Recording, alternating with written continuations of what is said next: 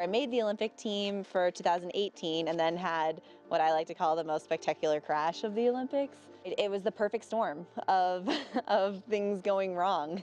And it, it ended with me having a really hard hit uh, on the the short wall of the track and I broke my neck and my back. I didn't want to have this terrible ending to luge, have a crash and and be afraid of it or not know if I could do it again. The track is now clear at the women's start for Sweeney.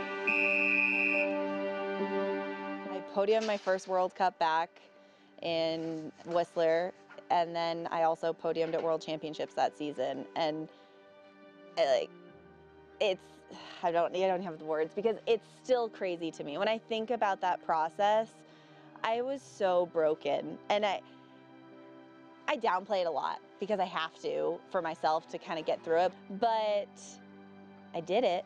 So I guess that just shows that we can all do something more than what we think we can do.